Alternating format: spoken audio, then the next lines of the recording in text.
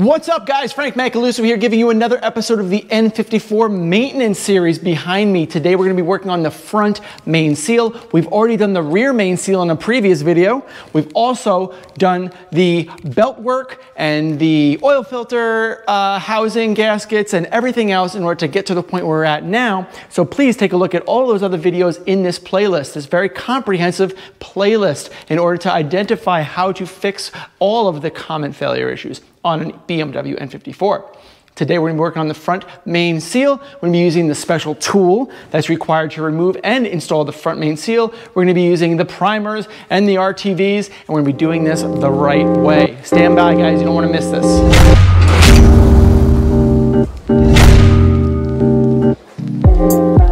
So as you can see, we have an engine that's basically mostly apart. We've done a lot of other things on this so far. Now we've gotten to the point where we can remove the front crank flywheel. Now there's about six bolts on that. I gotta take a look and see exactly what they are and show you and do it. Once we do that, then we can access the, the front main seal and we can start talking about what it takes to actually remove that seal and replace it correctly. As you can see, things are very, very dirty in the front of the engine and that was because of this guy leaking. Big, big problem. And it can cause uh, deleterious effects for the front main seal, and we need to get through that, fix this, and get a perfectly running engine again. So let's see what kind of bolts are actually on here. Um, uh, if you see, you're not going to be able to see. So I'm just going to do it. Uh, looks like they're Torx, but six, seven, yeah, six of them, six Torx.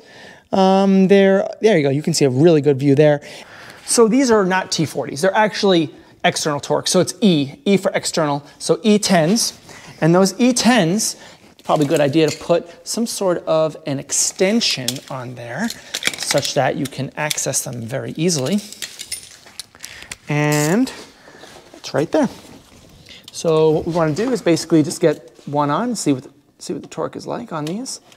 And going to loosen up all six of them. There we go. Oh, it's not that hard.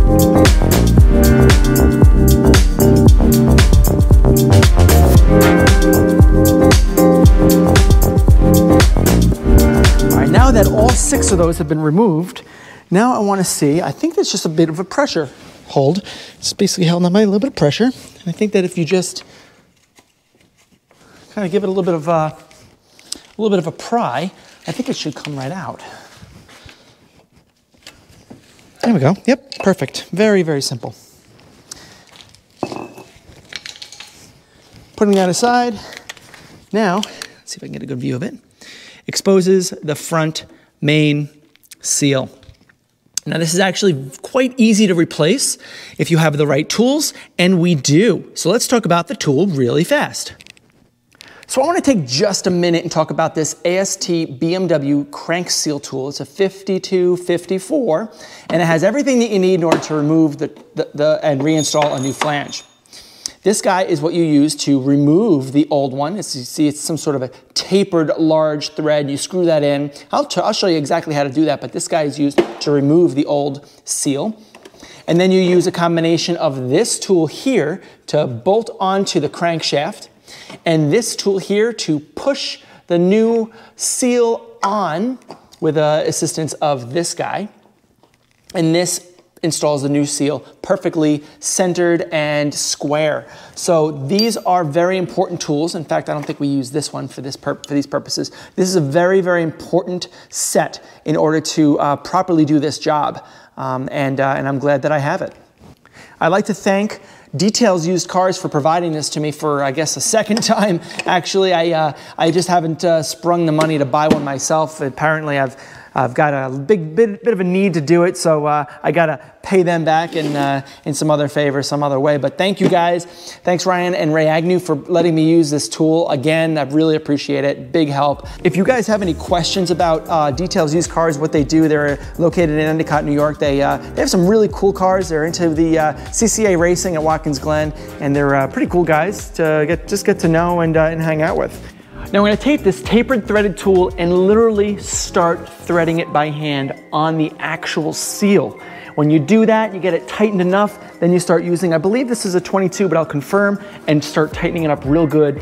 Then you take this bolt on the outside and start screwing that in. That pulls the, the, the old seal out, clean it, and then we move on.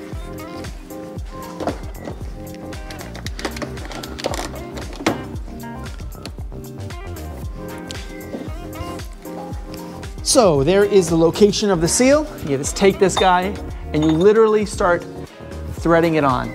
So the size of this guy is more than 24 millimeters and that's why I'm using a regular open-ended wrench instead of a uh, box wrench or something because I don't have the right size. But it doesn't matter. This is all you need.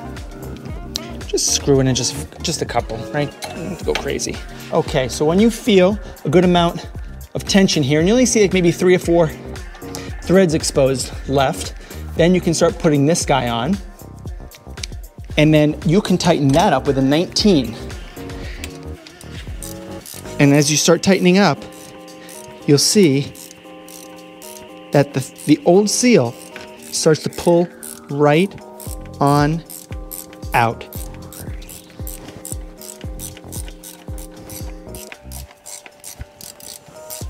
Keep on going.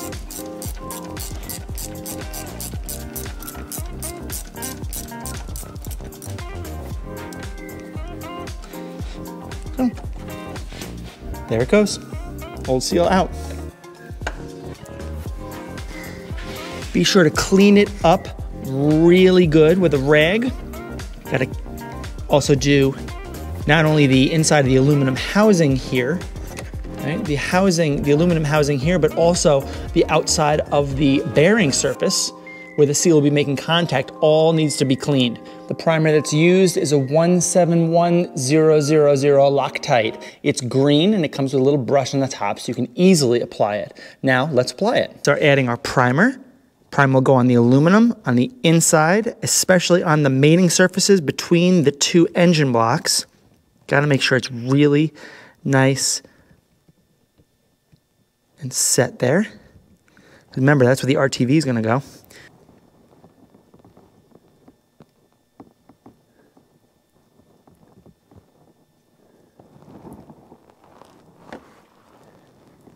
Okay, now that the primer has been set, now it's a matter of putting the tool on for the insertion.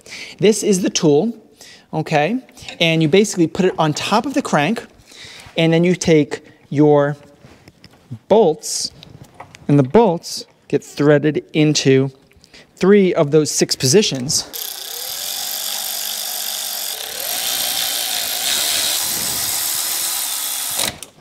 Now, you need to take your seal and slip it over. This here is an alignment tool that's part of the seal. but All it's meant is to just install the seal. This does not go and, and it's not part of the actual assembly. So you put it in here and you gotta make note on these little notches here. These little notches are those items that you basically primed before that is the interface between the two uh, aluminum surfaces. And that's where you're gonna end up squeezing RTV in after the fact. But for now, what we need to do is slip it over the tool, and then you have to align and clock your seal so that it aligns appropriately with those block marks. I can rotate it and right there is right where I want to be. Just kind of give it a little tight. Make sure this seal is nice and square because now we're going to be putting the rest of the assembly back on here so it pushes on. I'll show you how to do that. This is the part that actually pushes the seal in and the diameter of this matches the diameter of the seal and you take this guy and you slip it right over there. The actual pushing is done by this guy. This is a thrust bearing, right? You can see how it spins here, right? That allows for easy or no friction between the spinning surface and um, and the stationary surface. So if I were to spin this on, you can see here that I am actually moving this seal in already without, with many, with very little minimal effort. But better minds will prevail, and I'm going to use a 24 millimeter on this so I can squeeze it in the right way. And I'm gonna start putting this on and I'm gonna keep on torquing it until the tool bottoms out on the block. That's how I know that I've reached the depth that I need for this seal to get installed. Looks like it's good. Now I wanna back it out.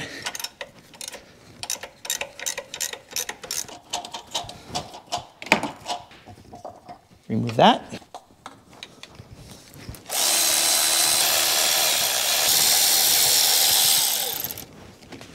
To finish up the complete installation, you need a Loctite 5970. It comes in a syringe like this and you squeeze it just like a syringe and you are able to get the, the, uh, the RTV out and push it into those two little sections, those two little nubs that I was telling you earlier, in between the two aluminum blocks. Finding that actually just putting it on your finger and squeezing it in that way might actually be the most incredible way.